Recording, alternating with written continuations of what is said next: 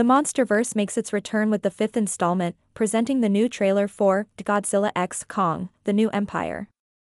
Directed by Adam Wingard, who previously helmed the 2021 feature Godzilla vs. Kong, this upcoming monster movie promises a thrilling cinematic adventure.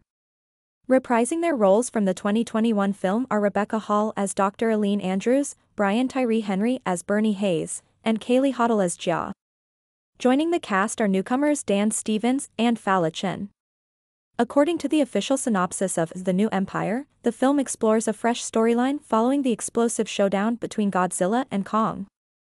This time, the two iconic monsters face a colossal undiscovered threat within our world, challenging their existence and unraveling mysteries about their origins and ties to humanity. The movie delves into the histories of Titans, Skull Island, and beyond.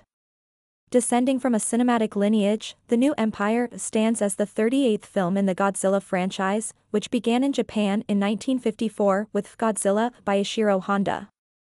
Additionally, it marks the 13th film in the King Kong franchise, originating in the US with the 1933 original by RKO Pictures. Written by Terry Rossio, Jeremy Slater, and Simon Barrett, the film is produced by Mary Parent, Alex Garcia, Eric McLeod, Brian Rogers, Thomas Tull, and Jon Jashni. Set for release on April 12, 2024, this creature feature promises an epic continuation of the Godzilla and Kong saga.